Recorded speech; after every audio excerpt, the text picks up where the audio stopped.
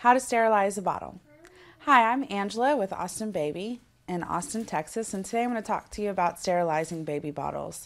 The old-fashioned way would be to just simply boil them in a large, uh, a large pan on the stove in boiling hot water, and that has been um, it takes a little bit longer and it's a little bit tedious task. Um, they have come out with these microwavable sanitizers and I'm just going to show you a quick little demonstration.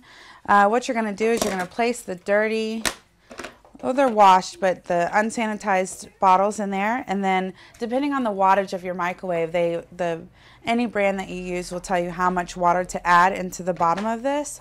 So you then add the water and then you would close that and it's airtight and you would put that in the microwave and it, it, ranges from anywhere from five to eight minutes how long you would you would microwave it. And after it's microwaved you would uh, take it out. You would probably need some pot holders.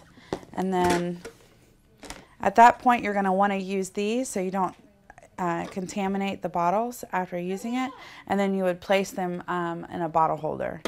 And then you would do the same thing with the nipple and the top to that and that's just a much easier way and it's more it's probably cuts the time in half if not more on saving time to uh, sanitize your bottles.